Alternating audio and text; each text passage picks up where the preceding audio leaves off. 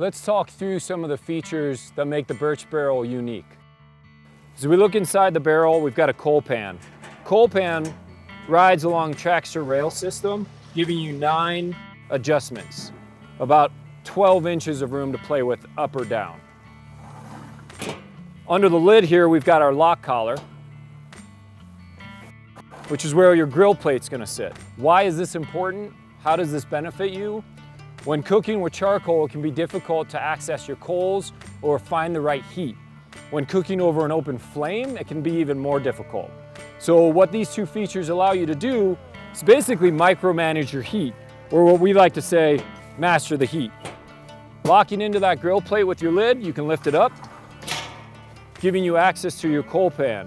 With the right heat resistant glove, you can adjust your coal pan up or down to find that right heat setting. Once you're done with that, you can uh, lower your lid back down, getting access back to your food again without losing much progress while you're cooking.